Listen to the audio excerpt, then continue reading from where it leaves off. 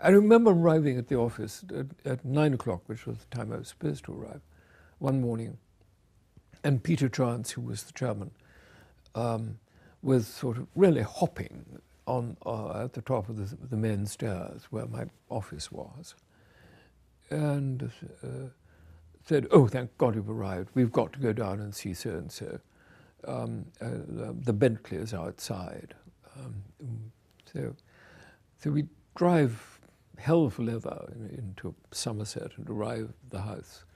And the, the situation is explained to me that Patrick has been there, has valued the Van Dycks at proper Van Dyck levels, but uh, the Earl or Duke or whatever knows perfectly well that these are substitute pictures, that the, the originals were sold to Duveen in 1902. Um, and these are copies which Duveen supplied so that nobody would know that the pictures had been sold. And so we were caught out.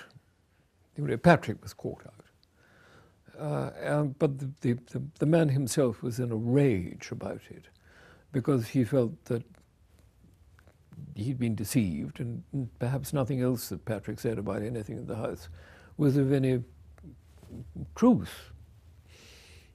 And so uh, we arrive, we look at the picture, they are quite clearly early, uh, um, early 20th century, canvas is early 20th century, we can tell that immediately. Uh, and they're, they're perfectly good replicas, but they, are, they, have, they have no standing. They're not even school of Van Dyck, they're centuries later.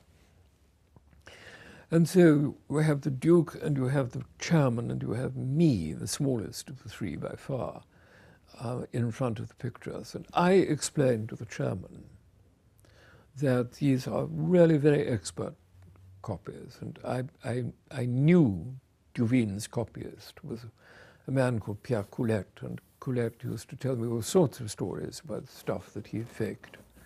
And that they were the best of their kind, and it had been really perfectly reasonable with Patrick, not knowing the background, seeing them hanging on the wall in normal circumstances and so on, um, to mistake them for the real thing, which was what Coulette intended when he faked them. So you really can't blame Patrick. The chairman then turned to the Duke, who had heard all this, and repeated, because there's a kind of protocol where I, the, the minion of absolutely no importance, but the one who knows, cannot speak to the grandee. It has to go through the chairman. And so we have this tripartite conversation. Duke talks to chairman, chairman talks to me, I talk to chairman, chairman talks to Duke. Never the Duke and I talking to each other. And that sums up the, the sort of relic of the class system that obtained in the art world at, at, in the early 60s. And it, it really was, it was, it was ludicrous enough to be bearable.